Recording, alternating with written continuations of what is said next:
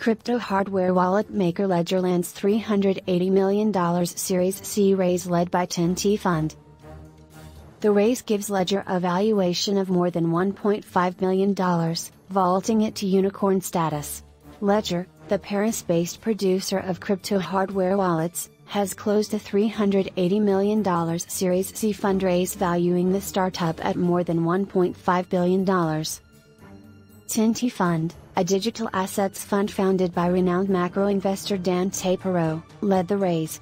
Tapiero's $200 million fund was set up earlier this year.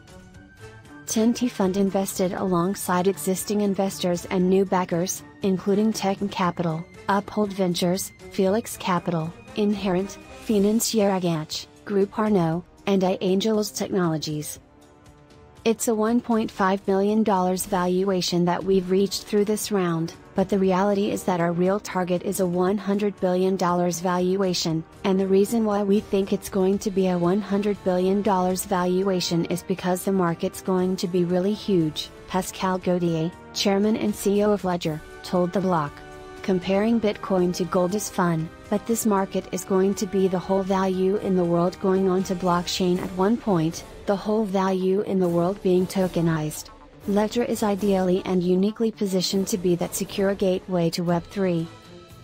The proceeds of the Series C raise will go towards product innovation, with plans to give users access to new transactional services such as decentralized finance, DeFi, solutions through Ledger Live, the firm's crypto management app. Ledger is also planning to expand its enterprise capabilities and invest in upgrading its operating system. Further international expansion is also on the cards. Gauthier said Ledger, a global service, is investing in internationalization and localization, with a focus on tailoring the service to suit non English speaking countries. The company closed its Series B round, a $75 million raise led by Draper Esprit, the London based venture capital firm, in January 2018.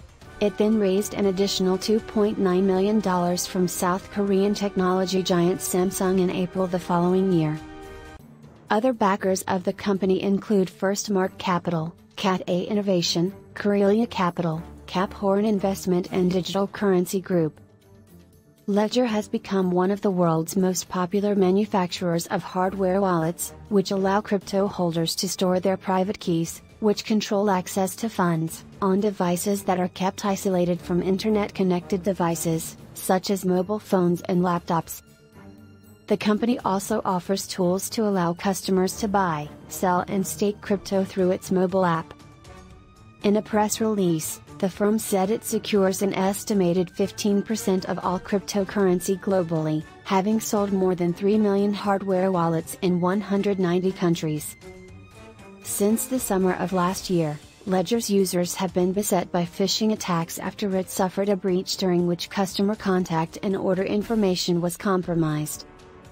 In December 2020, a database containing the personal information for more than a quarter of a million Ledger customers was posted online, for which a rogue member of Shopify's customer support team was blamed.